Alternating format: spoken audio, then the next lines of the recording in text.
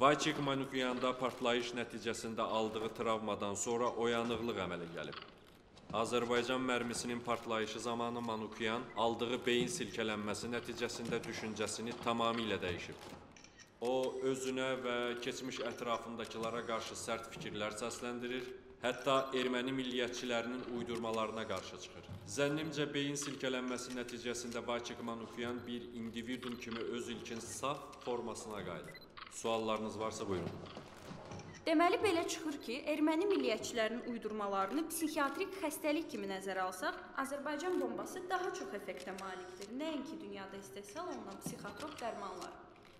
Bu daha çox cavabdır, nəinki sual.